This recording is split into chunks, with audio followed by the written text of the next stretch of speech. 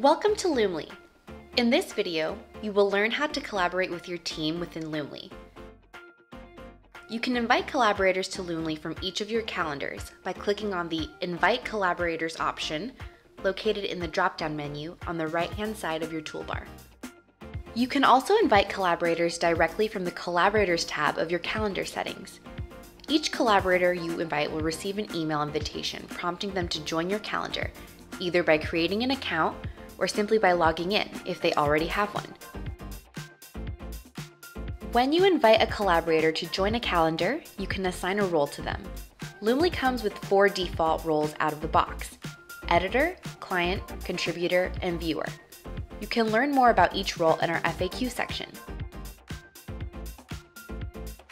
Additionally, custom roles allow you to create tailor-made sets of permissions for each of your team members in a more granular and flexible way. Loomly offers three different workflow options which determine how a post is created from start to finish. The original workflow is ideal for larger teams when multiple people need to review and approve a post.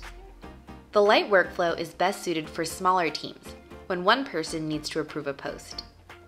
The zero workflow is perfect for solo users when no one needs to approve a post.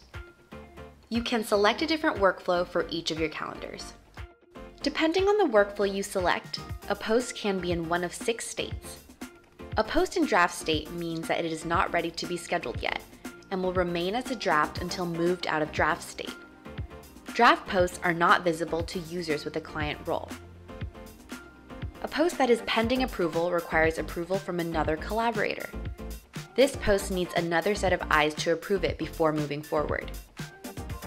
A post that requires extra work will be put in requires edit state.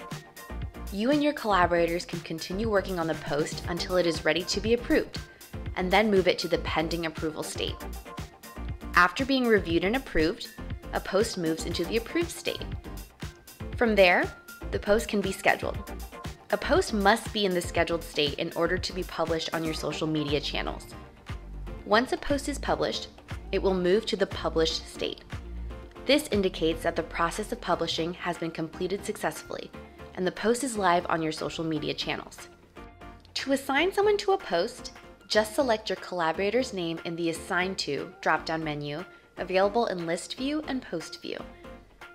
Once assigned, a collaborator is notified by email, through a push notification on mobile, or via Slack if you enabled the Slack integration feature.